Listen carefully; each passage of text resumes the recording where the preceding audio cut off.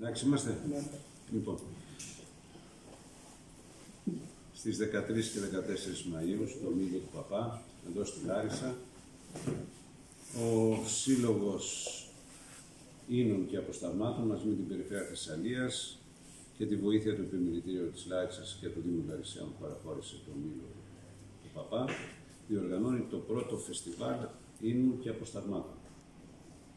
Είναι μια προσπάθεια την οποία κάνουμε για να επικοινωνήσουμε τις εξαιρετικής ποιότητας προϊόντα, κρασί και αποστάγματα της περιφέρειας Θεσσαλίας. Οργανωμένα με σχέδιο. Είναι το πρώτο φεστιβάλ, θα ακολουθήσουν και άλλα, θα γίνει θεσμός, αλλά θα προσπαθήσουμε να βγούμε και στην Ευρώπη, όπως βγαίνουμε και στην Ευρώπη μέσω του ΑΡΕΠΟ και άλλα προγράμματα τα οποία έχουμε. Τώρα συντονιζόμαστε και προσπαθούμε να επικοινωνήσουμε το προϊόν μας παντού.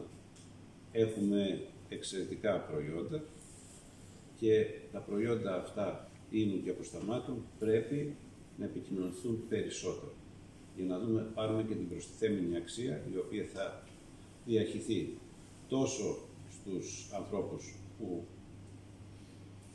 είναι εδώ σήμερα και εκπροσωπούν όλους τους συνοπαραγωγούς, αλλά και στους ανθρώπους οι οποίοι καλλιεργούν αμπέλι.